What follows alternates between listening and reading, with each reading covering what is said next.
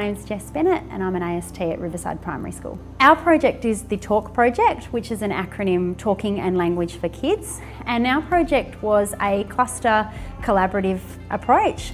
We worked with West Launceston, Trevallyn Primary and Riverside Primary and all of our prep teachers had the opportunity to participate in the project that was an interprofessional collaboration with our speech and language pathologist, Sally O'Donnell. As a team, we worked together to build upon our skills in speech and language so that we could take students' speech and language goals that were developed by the speech and language pathologist and actually be able to action those goals more effectively in the classroom. We've been really aspirational in our approach to the project. It's something different and it's something new and I suppose we've been really courageous in how we've tackled it.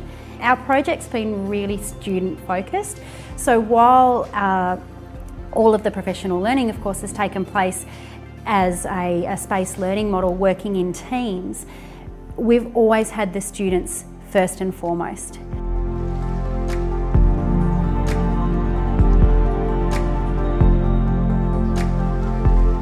I'm Carol Stingle, Principal of Bridport Primary School. Reading is at the basis of everything we learn, whether it's maths, whether it's researching, if they want to use technology. So a large part of our focus here has been improving the reading skills of the students so that when they leave here, they'll have those skills to continue to learn for life. We live the department's values every day. We take risks and we model to the children that having courage to learn is a really critical part of the learning process. High expectations, that's about aspiration and wanting every student to do their best. And most importantly is that notion of respect. Relationships is the foundation of learning and it's something that we've worked really hard to build a culture of respect here in which the learning is then embedded.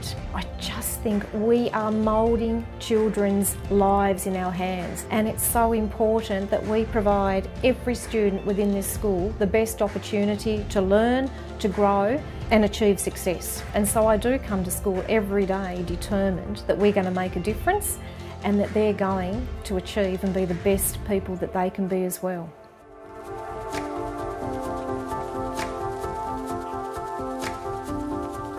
My name is Katrina Hutchinson. I work at Claremont College and I am the literacy coach here. We put together a program that goes for 30 weeks and in each of those weeks they do six particular types of activities that are developmentally sequenced.